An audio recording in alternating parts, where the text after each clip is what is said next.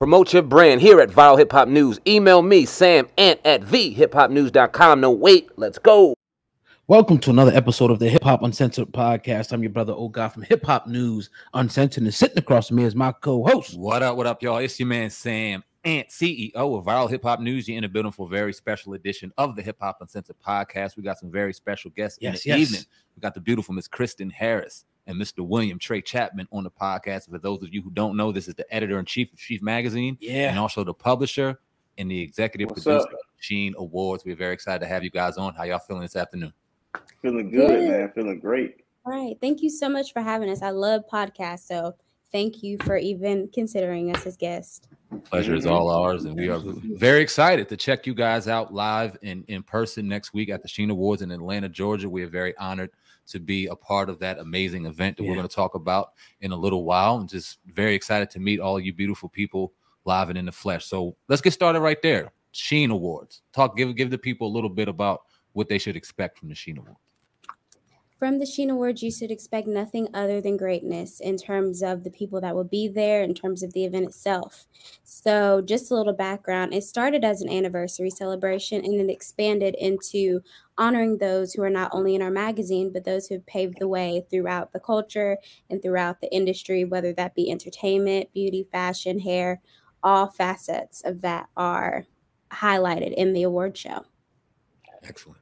Right. So Mhm. take us back to, to a little bit of the beginning, if you can. Of like, who's the first person to actually have the idea to even get you know the company started, the Sheen magazines or whatever came first? Well, uh, Kimberly Chapman started the Sheen magazine idea in 2006. Okay. Mhm. hmm Yeah, started in 2006 because they wanted to give people of our, you know, people of our color and our community a ability to actually have some media and some promo that actually was something that made sense for them, you know, and it was going to be in the niche that they would really want instead of buying something that's like something that doesn't really care about you. You know, we kind of tailor a lot of our things to to the community and make sure that it fits exactly what you want to get as a customer when you're coming down to promo and advertising and copy ad and stuff like that. Oh, Now, I, you have to excuse me. I didn't hear the first name, but I heard the last name said Chapman. Yeah, Kimberly Chapman, she started Sheen. Are they rel- any relation to you? Yeah, that's my mama. I Oh, okay. kind of had that feeling. we got to get a little deeper Yeah, now, man. Just Yeah, talk about mom. vision. And also, you grew up this is this is water. Just to let y'all know. Oh, okay. How you good? appreciate that. But um, yeah, man, take us back to even growing up with your mom and the vision. You you seen it from kind of behind the scenes, and then you took over and started having a, a, a piece of your own. So just talk, take us back to the very very beginnings of what you've seen Oh, and how man. you see Sheen Magazine Right. beginning. Man, my, my mom when she did it, she uh she she did the first cover, she did the first picture. Matter of fact, her homegirl's daughter was the first girl, woman that actually graced the cover. And when it came out, you know, it was like a how can I put it? It like a like a like a what's some thing you you ever been to like when you riding down down the highway and you, and you go to one of them stop spots it's got like a like a city guide. Or like It was the something like that. Yeah. Yeah, like a rest stop. It was, you know, some regular paper, man. You get wet, you put your hands on, you know, it, was, it wasn't, but it was, but it started. That was the main thing. You know, main thing is you got to start somewhere. And then as we start bringing in other people, you know, graphic designers and finding the right type of person that um, prints your magazine out and all that kind of stuff, getting the paper right, the stock feel. Before you know it, you get a beautiful project 14 years later. Mhm. Right. Yeah. Now t- the magazine, you know, talk about magazines because we talked to the uh the owner or the former owner of the source, and at a point in time, like people, you know, I know people still read them, but with the advent of the internet and different Somebody blogs, Benzino? uh, Banzino and the other guy, I forget his name. What was, Oh my goodness, dang! I was just talking. Forget about his name. Yeah, it was like two of them. Yeah, everybody. I kind of forgot his name too, but I know you're talking about. yeah, yeah, So do we. yeah. Yeah, So 'cause how do he you had the guys- hip, the hip hop awards and all that kind of stuff. Yeah. Yeah. Oh man, that's kind of the para the parallel. The, that's just kind of ironic, you know that when you put them both together like that. Yeah, yeah I can see it. right. How, how do you guys, you know, um, with the internet being here and people, you know, going for a fast, quick story, how do you guys maintain the business in such a crowded area of internet where people like I like I still like getting magazines, Motor Trend and things like that. I like to look at them in different Mhm. magazines, but um, how do you guys keep afloat Um, I would say the main thing is it's funny that uh, Tre told me this a while ago, but the thing about media, regardless of what platform it's on, is people want to read not only about themselves, but also how to create and grow and learn. And I think that's what Sheen provides for everyone because everybody that's in the magazine not only is being spotlighted, but they're taking their skills and things like that and they're making sure to pass it along to somebody else. Um, and I think mm-hmm. that's what's really been holding it down for real on that part. And then also the covers. Regardless, like you said, you still like to pick up a physical magazine. I still anticipate looking at all the magazine covers that right. come out now, regardless of if it's Sheen or another outlet, because the creativity you can't get that from necessarily just you know a photo shoot that somebody posts on instagram or right. the behind the scenes and the personal touches that you get to have with these people as they share their stories. And i think that's one thing that's really kept sheen relevant is the fact that we're not only mm-hmm. touching our audience but specific people as well. Plus yeah. on top of that and compound on top of that. People once people found out like instagram you could buy blue checks and block follows and all that kind of stuff it kind of got capped and the thing about it is people know websites is real. You know what I'm saying? Going to YouTube, looking at certain things, having an app, your own streaming thing, that's that's that's real. You know, Instagram, you can you can you can you can manipulate Instagram a lot of different ways. And it was cool for like, you know, four, five, six, seven years. But just tell if a person don't have a blue check, how and they, they might be a celebrity not on Instagram. Like Jay-Z is not on Instagram, but he is a right. celebrity. You know what I'm saying? Mm-hmm. So it's just kind of like that check doesn't really mean that you're gonna that you're gonna just win. It doesn't happen like that. You know, the, the real world is out here outside the cell phone. So we, we got a real touch to our customers and they and they vibe with us like that. Dope. Now, kind of to extend on the social media aspect, you guys have Sheeta, excuse me, Sheen Media Group. Explain mm-hmm. that. Mm-hmm. Yes. Oh, go ahead. So Sheen Media Group. Oh, you can go go ahead and do your thing. So Sheen Media Group actually came a bit after Sheen Magazine, but the goal of it is just to kind of touch that digital side of things. So whether that be movies, podcast, um, all different types of things. We have a show called STM, which highlights models throughout, you know, the world and things like that. So I think the really, Tre can, you know, kind of speak more to this, but the development was more so so we could touch that digital audience as well as provide services for those who are trying to learn more about how to use those platforms. Oh, absolutely. And then the thing about a media company is, man, you know, like look at all the different media, Warner Media Group, uh, the wine, I probably can't say his, but the Weinstein, you know, all them people had media companies that did movies, TV shows, that had script writers, executive producers, all that kind of stuff. And with the magazine, yeah, we had that just on the on the magazine side. But when it comes down to a person saying, "Hey, my movie want to go in your magazine, and can we come behind scenes and script write? Can we do X, Y, and Z?" It's like, "Oh yeah, we got a team of people that do all that. Let's get it done."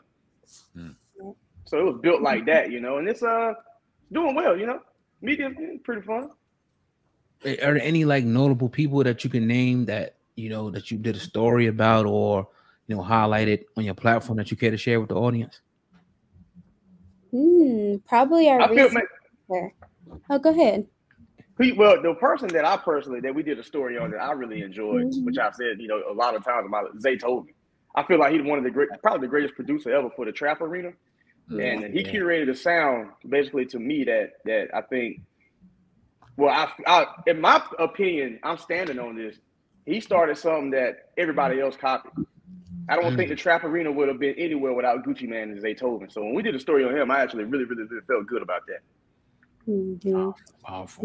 Yeah. yeah. For me, it would probably we, be Omarion. So Omarion. Omarion. Oh yeah, yeah. You got Omarion. yeah. And then we oh did another another person that, that we honored on it, Pastor Troy, down south legend. So mm-hmm. I can keep going, but I'm just saying, yeah, those right, two right. they got to stand out to me. Yeah, dope, man. Indeed, indeed. Now talk about Sheen Talk TV you guys are doing it big over there at Sheen Magazine and the Sheen brand and Sheen TV. Talk about that.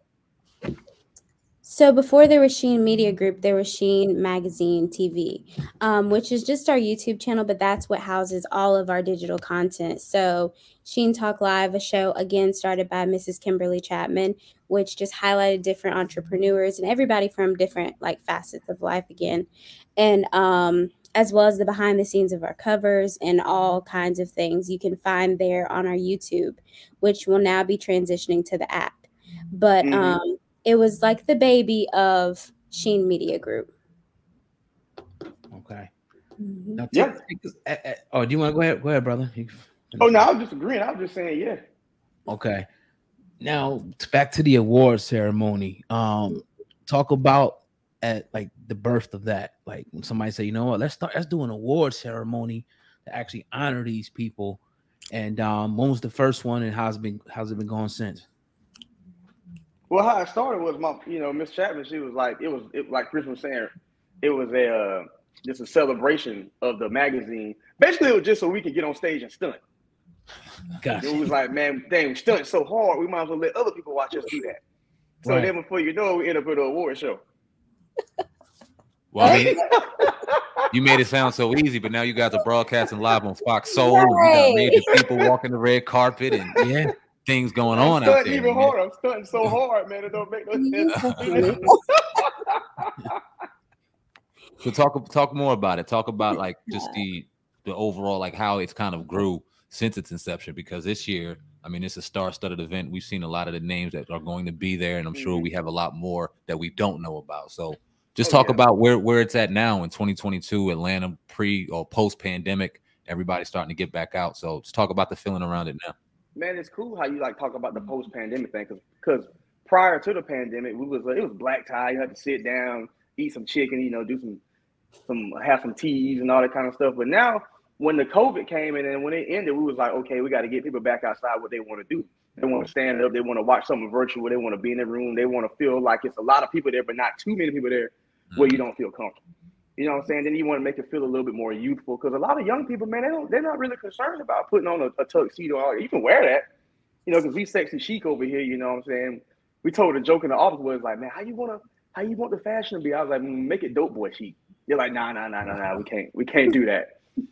but yeah, so it basically just updated itself all the way through that, and we've been doing it so long that people just kind of start looking at it like, let's let's stream it here, let's put it there, and people just, man, people pull up that's not even on the list. Like, yo, I'm here. I want to get on the red carpet and take some pictures.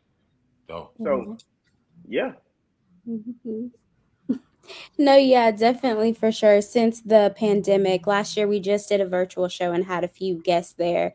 But this year, since we are able again to partner with Fox Soul, which is the perfect marriage, we have kind of the same mission as them in terms of entertaining and making sure we're educating our community specifically. Um, so it's perfect that we're working together. But this year, to kind of have everyone live and be back outside again um, is, I think, honestly great because you know connecting has been something we've been missing throughout the pandemic and still people are trying to learn how to reconnect so i think sheen awards the sheen magazine awards is a perfect place to start oh yeah, hmm oh yeah. Excellent. All right, so we're on the on the heels of the Sheen Awards coming out, or next Thursday, I believe it. Excuse me, it airs, and we're very excited about that. Real quick, talk about some of the lineup. You want to go ahead? Yeah. Oh, okay. Yeah. So we will be honoring um, James DeBose, who is the head of Fox Soul. So that's going to be great that he'll actually physically be there to be honored for all of his contributions to the industry. Um, we've got Bob Sumner, who is one of the creators of Comedy Def Jam. Um, Aaliyah Jay, she's a beauty influencer with a huge fan base um, throughout social media. Um, Omarion, who is our cover star, star right now, his issue just dropped yesterday. Um, he's one of our trailblazers in music, and we're also honoring those who help create the looks that we see often. So, our creative artists in beauty, hair, makeup, photography, just those who really help us, you know, get those photo shoots together and help us make a beautiful product. Mm-hmm. hmm Indeed, indeed. A lot of So, William honorarium going on. Yes, sir. We got William Tre Chapman and Kristyn Harris on the Hip Hop Yes, Uncensored yeah. podcast. This what, what are we? What today is Wednesday? I'm Yeah. so tired. Wednesday afternoon. Can't wait to go to the Sheen Awards and do our thing. All right, before we get out of here, I got one question for both of y'all. What's Okay. Answer it however you want. What's the importance of a good team to both of you? Ooh. Man, that's a good I mean, the importance of a good team is like you want to be, you know what I'm saying, the dream team, or you want to be James John Wall. Like, like what the Right. I mean, Hey. hey, like Oh Lord. That's your answer? Okay. yeah, Um, when John Wall see that, he gonna be like, oh man, you're right though. Oh Lord, the importance of a good team is um, just knowing that regardless, you're always covered. You have people who will have your back. Our team here is Mhm. remote, but we're also in an office together as well. And I just think that us being able to communicate properly and you know fix problems as soon as they arise is super important. Um, and without it, you know, we wouldn't be who we are or what Sheen Magazine is. Mhm. Excellent. Yeah, definitely. Yeah, you're powerful. Um, let us know. Let the Oh, people yeah. know when the awards is going down one more time and where they can actually uh watch it if it's going to be live. So you can um, purchase your tickets for the actual show by heading to sheenmagazine.com. Okay. It will be next Thursday, September 8th at the Sheraton Atlanta. Um, and for more information, again, head to Sheen Magazine. Um, the show will air a little bit after that on Fox Soul. The date is TBA. And um, if you need any instant information, you can head to Sheen Magazine on Instagram, Twitter, and Facebook. Oh yeah. Indeed. We definitely appreciate your time, Kristyn Harris and William Tre Chapman on the Hip Hop Uncensored podcast. We'll see you guys next week. Until Yes. then, stay blessed. We Thank appreciate y'all. Take care. Thank See y'all. you.